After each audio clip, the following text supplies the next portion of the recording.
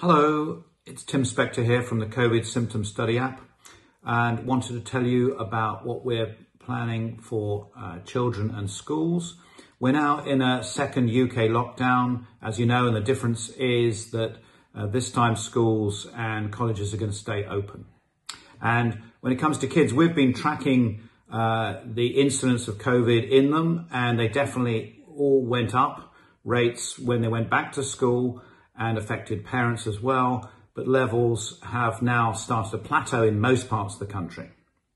And to help us better understand COVID-19 in children um, and also give peace of mind to parents and teachers, uh, we're, we've been working around the clock to get our schools program up and running uh, just in time uh, for this new lockdown. So what is the uh, program? Well, it's an extension of the original app that focuses on schools and allows um, us to find out how children are feeling in, in real time.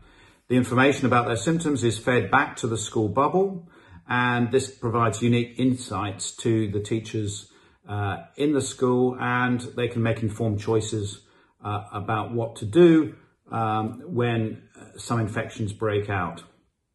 And it also gives us an incredible opportunity to learn more about the symptoms in children, uh, as we've done in the adult population. We know that actually they're much milder in terms of symptoms. They don't get the chest problems and it's a whole different picture. So learning more about that is going to help all of us uh, to pick up early disease. So if you are a teacher and you want uh, your school to be involved, please uh, go on the link in below uh, for more information.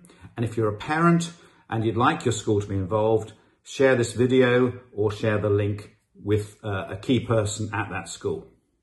So thanks for listening, stay safe and keep logging.